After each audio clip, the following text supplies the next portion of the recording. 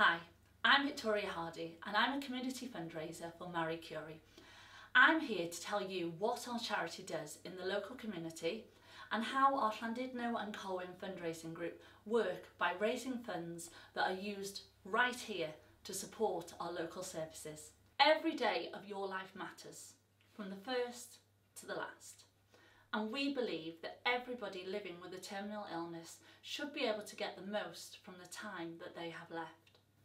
Marie Curie nurses work day and night in people's homes across the area, providing hands-on care and vital emotional support for patients, their families and their carers. We make it possible for people living with a terminal illness to stay surrounded by the people that they care about the most and more importantly, in the place where they are most comfortable.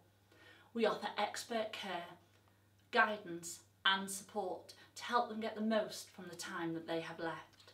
I'd like to introduce you to Jenny Maxwell. She's our local Marie Curie nurse and she works right here in the Conway area. I'm Jenny Maxwell, I'm a Marie Curie nurse and I work in Conway and Denbighshire. Marie Curie nurses work in patients' home giving one-to-one -one care for any patients with any terminal illness. We mainly work night duty 10 till 7, but sometimes we can work days as well.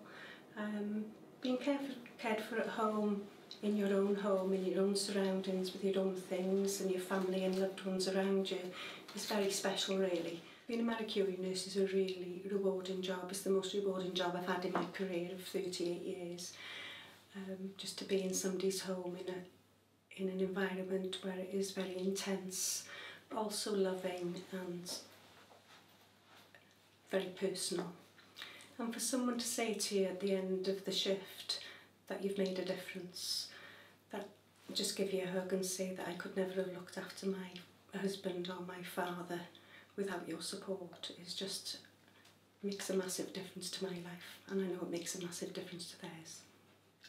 The work that Jenny and her fellow nurses do would not be possible if it were not for the support that we receive from the community. Right here in the heart of this community, we have the most fantastic fundraising group. The Llandudno and Colwyn group is made up of volunteers who work together to raise awareness of the work that Marie Curie nurses do, as well as raising vital funds to support this service. You may have seen them in the local community and I really do hope you have. Over the course of the last four years, the group has been responsible for generating over £50,000.